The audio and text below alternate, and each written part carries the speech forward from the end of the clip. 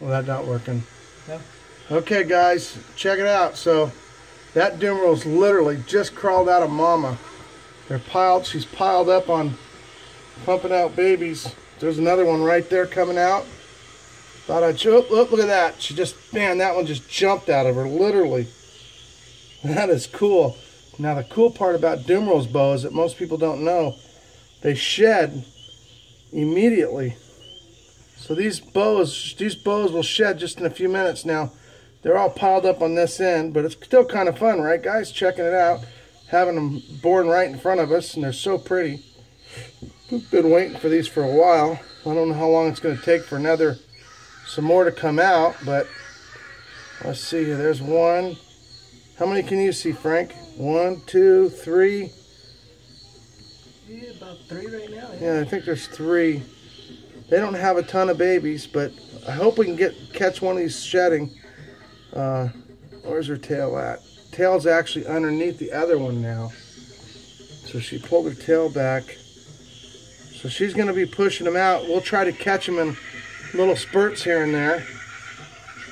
But uh, here we go. Let's see.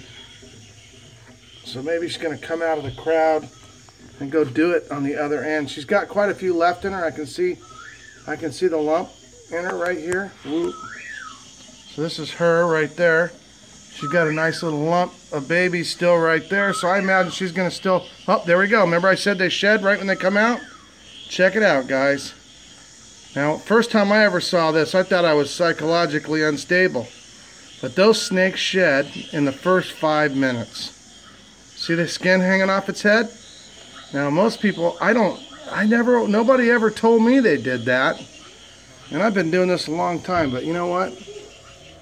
First time I saw it, I was pretty impressed. Did you guys know it? Comment below if you knew that Dumeril shedded in the first five minutes.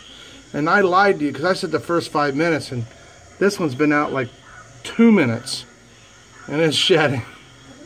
So, kind of cool. I guess it's been over two minutes because look at that. It's got its head off. So it's going to come out with a nice fresh shed. If it ditched just underneath mom, there it is right there. So, it's pretty cool.